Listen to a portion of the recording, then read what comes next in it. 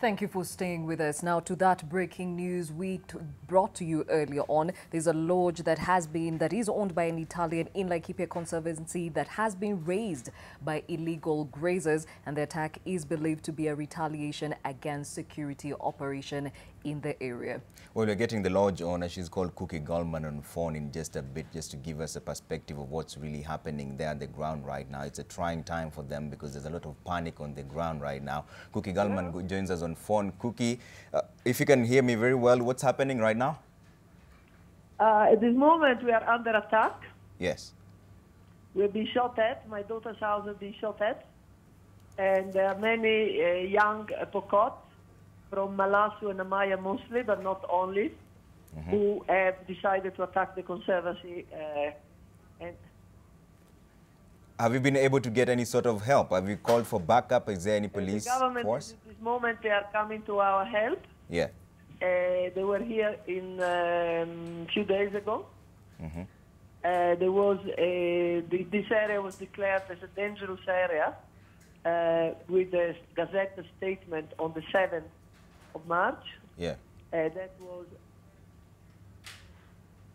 Excuse me?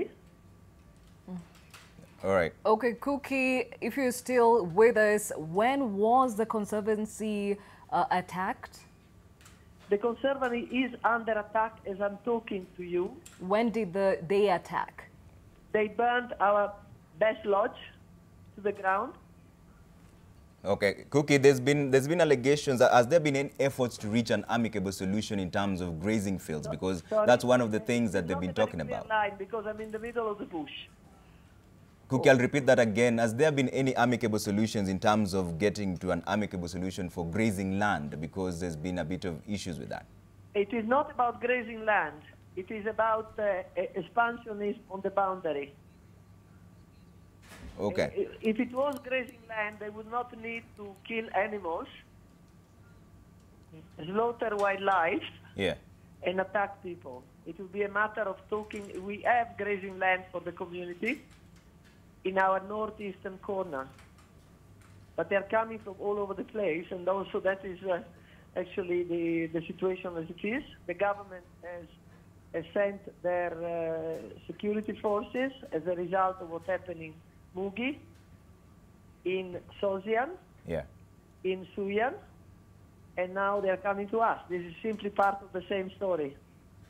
Okay, as we speak, as we know, and you've rightfully said, is that there is an operation going on as we speak. Do you see government personnel in your ranch? There is an operation that has been going on for the last few days, yes. So do you have security as we speak guarding over the ranch? Sorry, I can't hear you very well. Do you have security personnel guarding over the ranch as we yes, speak? at this moment in time, the security personnel is actually here.